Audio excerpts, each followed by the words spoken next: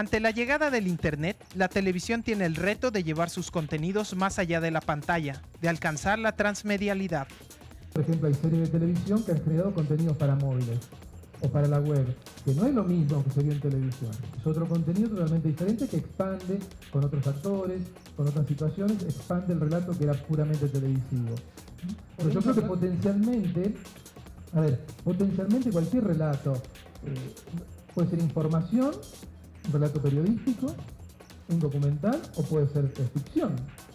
Potencialmente se puede expandir, lo cual no significa que estemos todos obligados a expandir todos los relatos de manera transmedia. La televisión comercial ya inició su paso a lo digital en busca del público joven.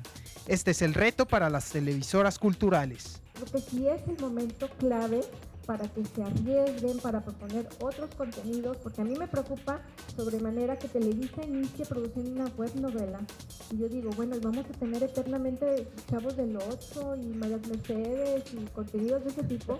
Digo, es una oportunidad que debemos aprovechar todos los que podemos producir, subir contenido.